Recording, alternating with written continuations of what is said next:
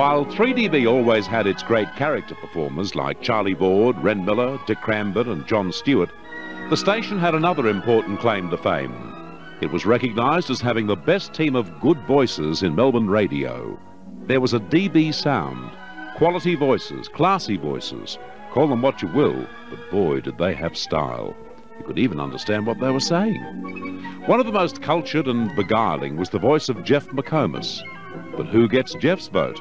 Well, I think John Eden had one of the best voices in broadcasting. It was an excellent voice. He started work at 3AK when 3AK was in those days owned by the Mac Furnishing Company and had a nighttime license operating from 11.30, I think it was, p.m. until 5 a.m. They were Melbourne's only all-night station. They didn't operate during the day and uh, and Eden had a job there for, for some years, and then uh, he later came to 3DB, and then later became breakfast announcer, where he was uh, extremely popular.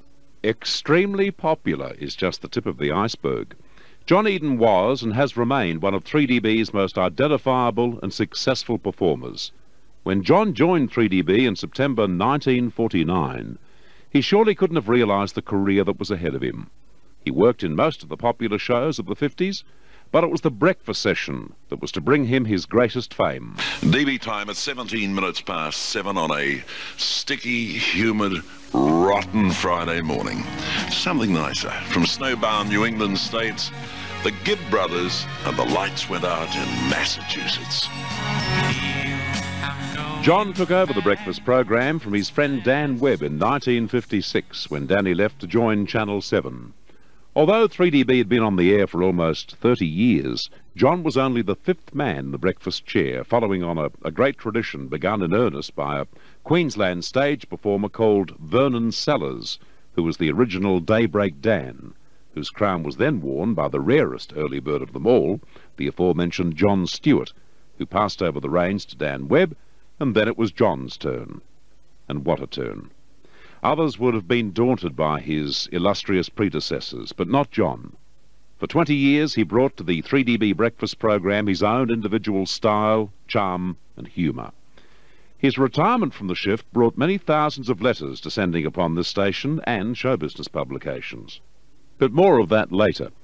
The record books still show that for a phenomenal 17 years he was number one.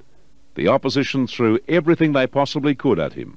But John remained just John, and that's what people wanted to listen to.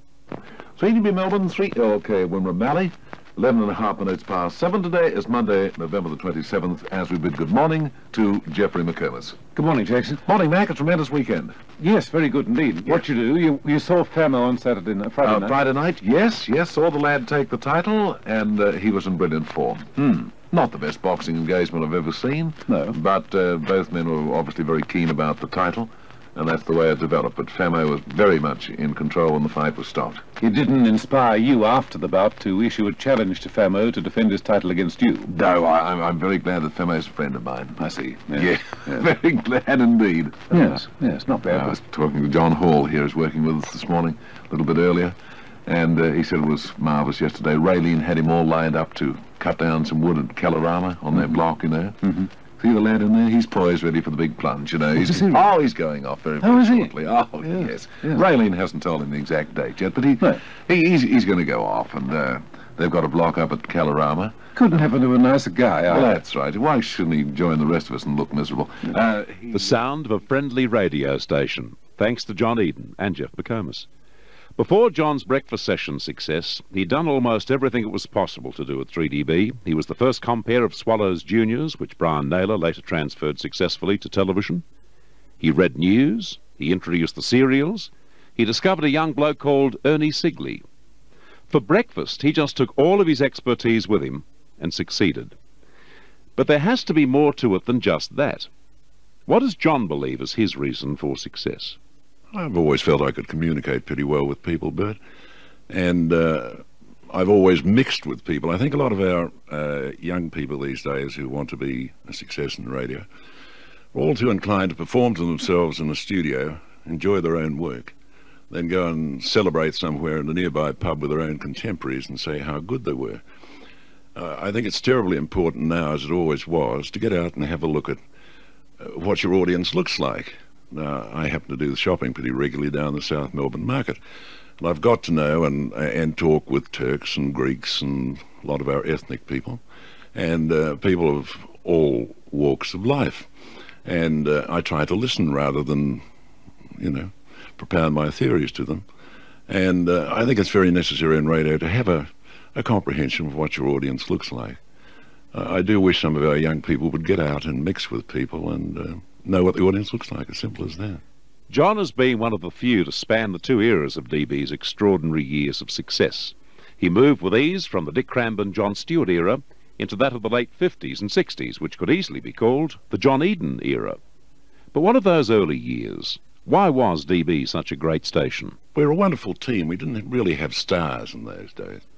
I, I think we were just a, a, highly successful team of fellows who enjoyed one another and, uh, you know, I mean, you were told flick off Percy if you were try and behave in an elitist sort of way, you know.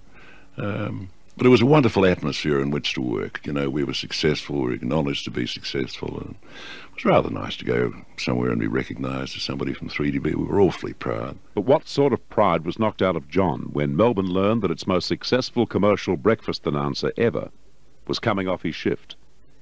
It was simply a management decision, but the effects were to be felt for long after his early morning farewell on the 19th of September 1975. It's time to say Uru for for the last time, so I'm not getting all choked up. I'll say Uru for the last time, or will it be? You never know with the fox, do you? It's nine o'clock. Uru! This is 3DB Radio News. An end of an era in radio came about in Melbourne this morning. 3DB's long-running breakfast show announcer, John Eden, has retired after about 20 years on the early session. The end of a golden era. In 1987, it's very easy to be wise and look back on decisions made years ago. This one made in 1975. But the fact remains that no 3DB breakfast program has enjoyed as much success since. And while your humble narrator has designs on rectifying that situation, It'll be a brave person to suggest that John Eden's era could ever be emulated, but an even braver man to try. His score is on the board. Now the only thing that would make his life complete is a Collingwood premiership. Come on, Maggies. The Silver Fox has waited long enough. You owe it to him. As a matter of fact, John is owed by many, including generations of 3DB listeners who have been served so well by this master of radio.